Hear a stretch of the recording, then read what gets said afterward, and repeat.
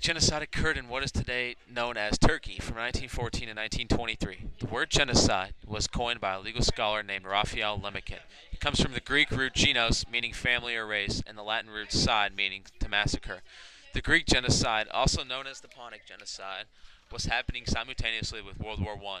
It was initiated by two consecutive governments of the Ottoman Empire, the Committee for Union and Progress, and the Kemalists, as an attempt to exterminate all the Greeks living in Turkey. The reason the Ottomans wanted to destroy the Greeks was simply because they feared their growing in population would aid the Ottomans' enemies in overtaking the Ottoman Empire. The young Turks had no reason or right to do the cruel and unnecessary things they did to the Greeks. Although there is not an exact number, there was an estimated 1 million Greeks killed by the time the genocide was over. There was death marches, mass murders, and massacres in attempts to remove all Greeks from Turkey. The remaining Greeks who survived were deported out of Turkey. Many deported Greeks took refuge in Russia, where they were not prosecuted. In response to help the Greeks and put a stop to the horrible genocide, an American committee called the Relief Committee for Greeks of Asia Minor was formed.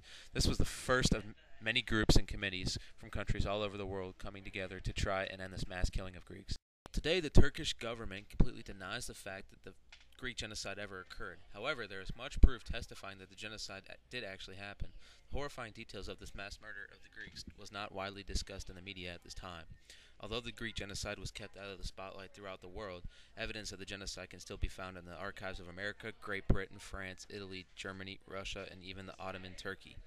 In addition to this, hundreds of survivors of the Greek genocide have shared their stories, and there are even pictures of those events occurring. One survivor, Maria Katsadou, recalls some of the horrific events of the genocide.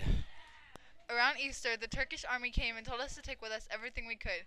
We loaded up the animals, but the saddlebags tore open, and most of us were left without food. On the deportation march, the Turkish guards would rape the women, one of whom fell pregnant. In the Talakta area, about half of our group was lost in a snowstorm. From there, they took us to a place without water, South Yazao Sao. Many died of thirst.